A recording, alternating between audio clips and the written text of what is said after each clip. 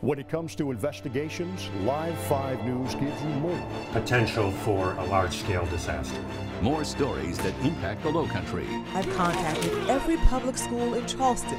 More stories that keep your family safe. They were never removed. Bringing you hard-hitting investigations every way we can. There are no foster homes to put the children in. Everywhere you are. There's no available apartments because they've been there so long. Live 5 News investigates. Only on Live 5 News, the Lowcountry's news leader.